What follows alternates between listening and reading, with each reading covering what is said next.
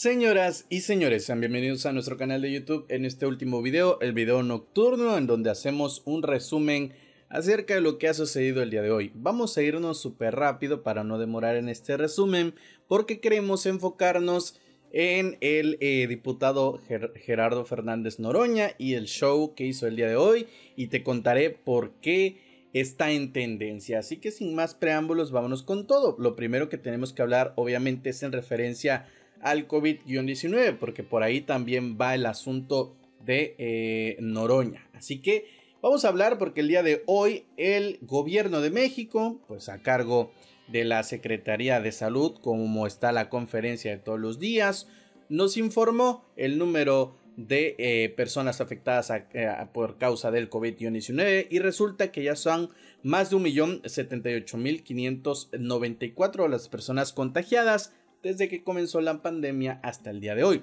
Fueron los números que nos dieron el día de hoy la Secretaría de Salud. En caso de fallecimientos o en el número de fallecimientos a causa de esta pandemia, pues ya son 104.242 fallecidos. Por cierto, si tienen familiares fallecidos, pues bueno, en nuestro otro canal, SPL México, ya subimos un video de eh, cómo se puede obtener el beneficio que estará dando el gobierno para todas las personas que fallecieron. Un beneficio que estará dando el gobierno mexicano para precisamente ayudar con los gastos funerarios. Así que si tú quieres verlo y quieres este apoyo, pues estará en nuestro otro canal. Si no, pues bueno. Amigos suscriptores, esos son los números del día de hoy. Pasemos a otro tema, porque México, también en cuestión del COVID-19, eh, pues dicen que es actualmente el, el país con menor gasto social. El gasto que se realiza en México eh, tanto en pensiones y salud y desempleo. Y les digo que pues en esta temporada de COVID-19, porque en esta temporada es cual en el momento en el que la salud es muy importante y el desempleo pues creció debido a la cuarentena y a todo lo que ha venido a afectar esta pandemia. Pues el gasto que realiza México en estas materias resulta pues ser de los más bajos en comparación a los otros países que integran la Organización para la Cooperación y el Desarrollo Económico. Dicho sea de paso, aprovechando que el gobierno mexicano les gusta pues compararse con otros países, siempre están comparándose, ah, es que comparación de España, comparación de Francia, nosotros tenemos una tasa de fallecidos eh, menores. Pues bueno, vamos a comparar a México ahora con los que son parte de este organismo y es que en el reciente reporte sobre gasto social se explicó que países que más gastaron en apoyos sociales fueron Francia, Alemania, Austria, Bélgica, Dinamarca, Finlandia, Italia, Noruega y Suecia. Eh, quienes decidieron pues eh, poder aportar más en gastos sociales, en apoyos a su ciudadanía. Bueno, se dedicaron a eh, entregar estos programas. Entonces, el país o uno de los países que menos ha gastado o que menos gastos tiene en esto es México. ¿Ustedes qué opinan acerca de esto? Es muy importante conocer en comparación cómo otros países están llevando su economía. Si ciertamente el día de hoy se dio una noticia buena, una noticia buena para México eh, por parte del INEGI, que ya se las di en el primer video y que para mí es una excelente noticia en la cual habla acerca de la recuperación económica, que ya se los dije, ya les di mi opinión en el primer video. Yo, en mi opinión personal, no creo que sea un crecimiento económico, sino una recuperación. Debido a que, bueno, amigos suscriptores, teníamos eh, el más bajo, eh, la, más baja pérdida desde que comenzó pues a tomarse en cuenta el Producto Interno Bruto. Era algo histórico las pérdidas que se habían eh, obtenido y pues en el segundo trimestre de este año 2020 México pues tuvo una pérdida histórica de hasta el 18 menos 18%, algo preocupante. Es un poco rápido y es que Estados Unidos apela a la orden que prohíbe expulsar a niños migrantes. Así es, recordemos que habían puesto pues e, esta prohibición ¿no? de, de expulsar eh, por medio de la orden de un juez habían intervenido para prohibir la expulsión de menores migrantes que cruzan la frontera solos, algo que la ONU y distintas organizaciones celebraron recientemente. Pues bueno, el gobierno de los Estados Unidos ya apeló esta orden que es eh, precisamente emitida y que al día de hoy pues todavía está vigente el hecho de la prohibición de regresar a niños migrantes no acompañados. ¿Ustedes qué opinan? Obviamente este tema es muy polémico, muy largo y necesitamos un solo video para hablar de esta prohibición que existía, que, bueno, ya se ha sido apelada y vamos a ver qué es lo que pasa. Precisamente hablando del problema migratorio, pues reportan que eh, en Estados Unidos, y hablando precisamente de este tema, eh, detuvo a casi mil niños migrantes no acompañados en tan solo una semana. ¿Ustedes qué, opinan acerca de esto? El presidente de los Estados Unidos, pues bueno, ya va de salida, ha dicho que, que sí va a ser una transición oficial. Pero antes de que se vaya, medios de comunicación, ONGs y distintas personas que obviamente no están de acuerdo con la política del presidente Donald Trump se están encargando de tirarle con todo, tratando de dejarlo como el peor político. Y eso me consta, he visto noticias eh, de obviamente espacios de Estados Unidos en donde están hablando de todo del presidente Donald Trump y aprovechando que perdió las recientes elecciones, que dice el presidente Trump que obviamente se las robaron, pero bueno, eso ya es asunto de otro video. La cosa es que están aprovechando este momento para darle con todos los medios de comunicación en Estados Unidos. Pues bueno, además México no respeta los derechos laborales de los migrantes, dice Red de Mujeres Sindicalistas. Volvieron a atacar a México y no solo a México, sino también a Estados Unidos. Y es que esta red de mujeres sindicalistas dice que México no está respetando los derechos humanos de quienes cruzan el país. La realidad es que hay muchas personas en persecución, fue lo que dijeron.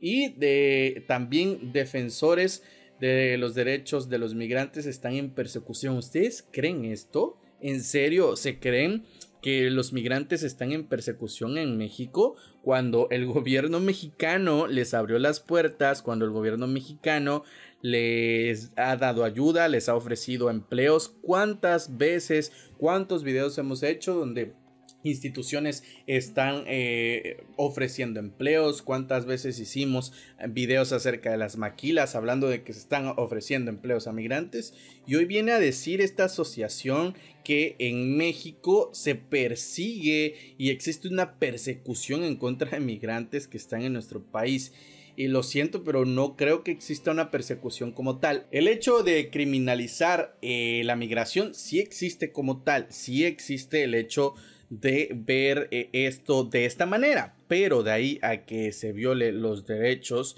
y laborales eh, de las personas que vienen a nuestro país, pues no, al contrario, se les ofrece empleo y hemos visto como en muchos casos pues no eh, aceptaron los empleos. Estamos hablando desde antes que comenzara la, la, pandemia, obviamente. Ahora que comenzó la pandemia y la cuarentena y todo esto, bueno, es casi imposible poder ofrecerles un empleo si no hay empleos ni siquiera para mexicanos y muchos mexicanos perdieron su empleo y la reactivación económica y la economía de México se vino abajo por culpa de esta pandemia, pues obviamente es imposible poder ofrecer eh, trabajos a migrantes, por lo cual pues yo no estoy muy de acuerdo con esta red de mujeres sindicalistas, pero bueno, eso es lo que están demandando, que México ha eh, violado los derechos laborales de migrantes. Pues bueno, ustedes juzgan.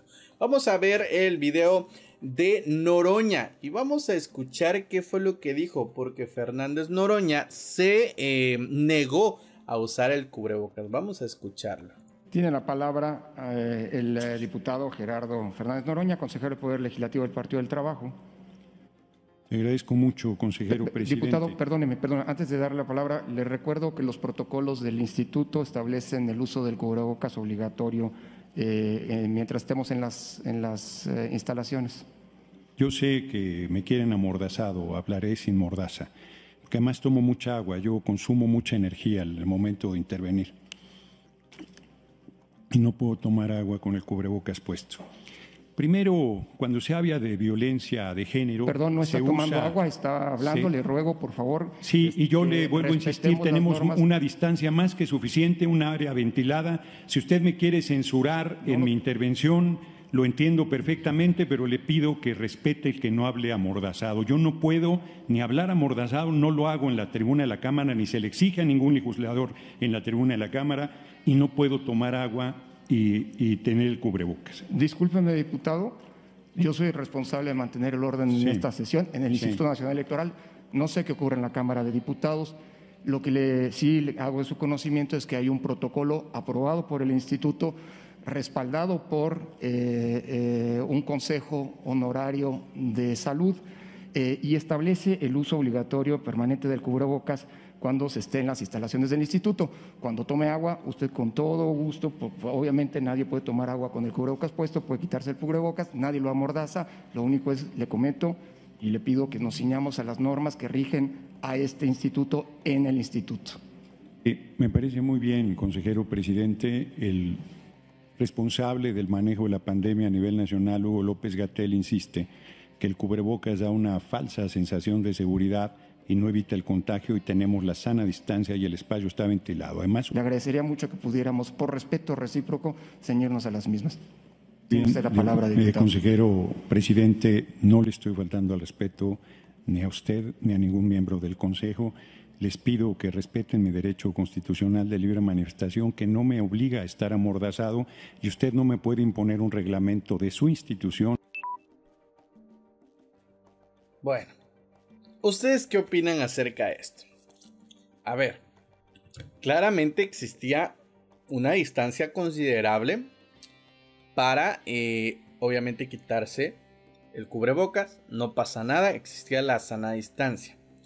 En ese aspecto tiene razón Fernández Noroña. En otro aspecto, la persona encargada es la responsable y si existe un reglamento dentro de esta institución tiene que cumplirse y si el reglamento indica que se tiene que usar el cubreboca de manera constante mientras se encuentre en las instalaciones, pues se tiene que hacer, porque si no se hace, entonces lo que tú me estás poniendo como ejemplo es rebeldía, que tenemos que ser rebeldes y que no tenemos que hacer caso. Esa es eh, e, el mensaje que envía eh, Fernández Noroña con su comportamiento. Por otro lado, tiene razón en el aspecto de que existía sana distancia, tiene razón en que está en apego a la ley, a hacer valer su derecho, bueno, bueno, bueno, bueno, tiene razón en eso, pero actualmente con la situación en la que está, se obtiene que seguir los protocolos, porque si no haces caso quiere decir que eres un rebelde y, bueno, entonces nunca vas a hacer caso a las leyes que están eh, estipuladas, ¿no? Por otro lado, menciona lo de Hugo López Gatel, de que Hugo López Gatel, quien está a cargo de eh, la pandemia en México, ha dicho que no sirve de nada el cubreboca y que además pues da una falsa sensación de seguridad, a lo cual Amigo Noroña, te invito a que veas eh, todo lo que ha dicho Hugo López Gatel. Actualmente eh, ya ha dicho que, bueno, hay que usarlo. Dijo primero que no, después que sí. Pero bueno, ahí está. ¿Ustedes qué opinan? Déjenme saber lo que piensan en la caja de los comentarios. Por otro lado, nosotros en nuestros videos ya les habíamos advertido esto. Les habíamos dicho que la negativa del presidente de México y de Hugo López Gatel hacia el uso de cubrebocas, porque según no estaba científicamente probado que te podría eh, prevenir el COVID-19, iba a causar que este tipo de pensamientos pues creciera entre la sociedad y pues Noroña es un claro ejemplo y es un ejemplo malo porque si estas personas que son figuras públicas se niegan a hacerlo, pues más un ciudadano común va a repetir como loro simplemente las palabras de Noroña.